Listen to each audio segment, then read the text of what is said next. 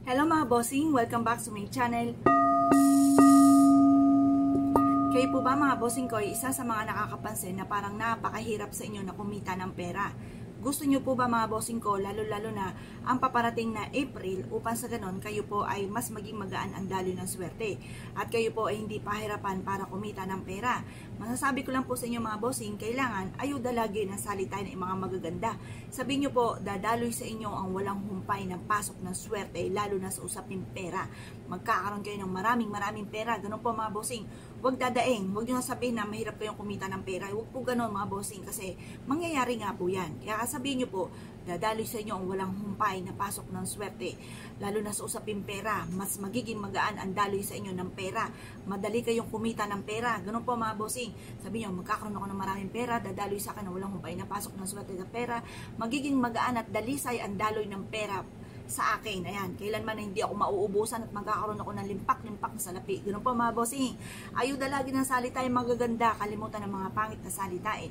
At subukan nyo po itong gawin mga bossing. Pero syempre mga bossing, paalala lamang, ang tungkol sa usapin pera na problema, kailangan ay sipag at syaga.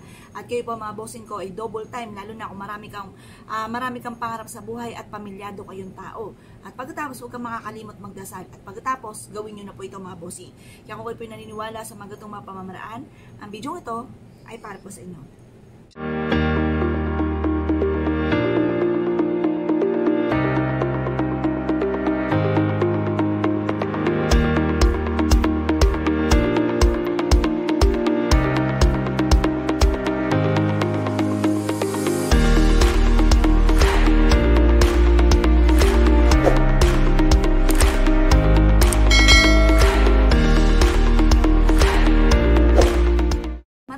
Tayo mga bossing ko ng mga iba't ibang mga pamamaraan para po tayo swertihin sa ating pong buhay.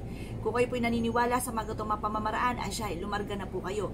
Pero paalala lamang mga bossing, kailangan kung kayo ay ng ganito, kayo po yung naniniwala sa gagawin po ninyo at naka-mindset sa inyong isipan, panay mga magaganda. Kalimutan nyo na yung mga pangit mga bossing. Kapag ikay nag-isip ng pangit, at yan po ay ayu, inayudahan nyo pa ng mga pangit na salita, eh, nako, magaganap po yan. Kaya ayaw naman natin ng pangit, kaya panay mga magaganda. Gagawa ka rin naman, lubos-lubosin nyo na. Ang paggawa ng mga pampaswerte ay may proseso, hindi basta-basta po yan mga bossing para kung gusto nyong tumalab, may proseso po yan. Kaya kailangan positive ka lamang at ayuda ng salita ng mga magaganda. Kumuha po kayo mga bossing ko ng lapis. Pinakamainam ang lapis sa mga panulat, lalo na sa mga pampaswerte. Sa mga pampaswerte lang naman. Baka sabihin nyo, eh paano yan eh, ballpen ang ginagamit ko eh, ganito eh, sa pampaswerte lang po mga bossing.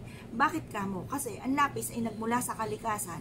Ang kalikasan, very powerful po yan mga bossing. Kaya mas mainam may mga nagmula sa kalikasan ng ating gagamitin. Pero kung wala, huwag nyo i-pressure ang inyong sarili. Okay na po yan kung ano meron po sa inyo.